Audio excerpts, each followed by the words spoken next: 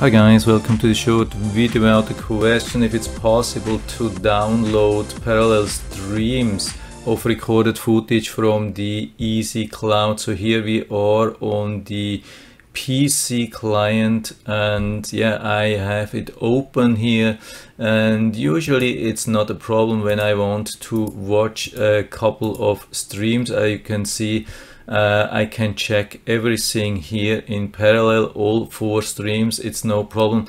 But when I want to download uh, recorded footage so I have to click here and then it has to stop everything and you have to select the channel.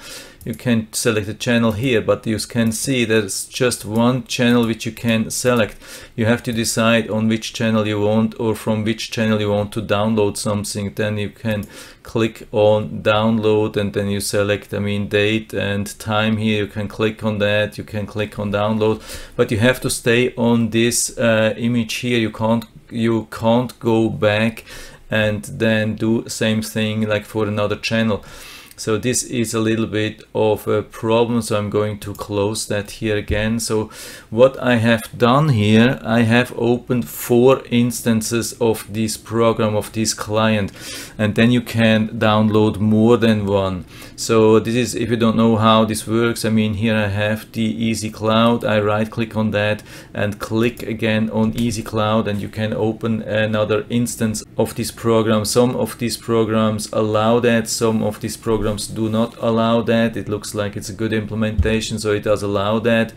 And then you can go and download uh, from another camera. I have already done this four times. You can see I have opened four instances.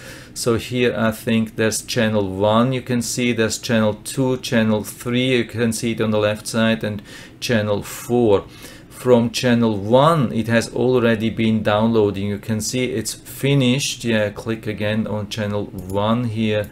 So you can see channel 1 footage is downloaded and I, it's ready to play from channel 2 it's stuck here.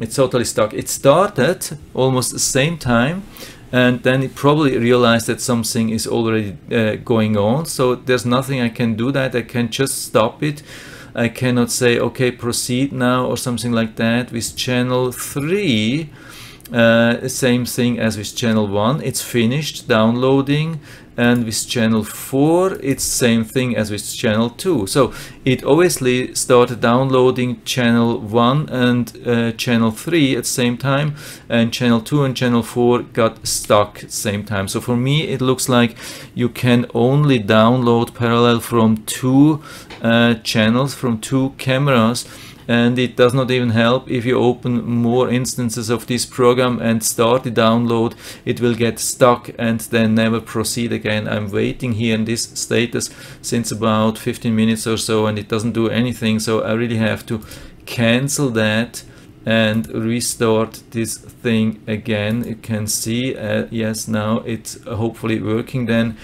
uh, but you cannot do it uh, on the same time unfortunately. Yeah, it would be really nice if we could do that because it takes quite some time to download but uh, yeah it is as it is and uh, yeah I hope I've been able to help you a little bit with this video. If you have any questions or comments or better solutions maybe you have found a way around that how to make this thing work so you can either uh, download one video uh, in one instance or at least uh, more than two with a couple of instances something like that would be really interesting to learn from you if you have found a solution for that. Apart from that, I hope I've been able to help you a little bit with this video.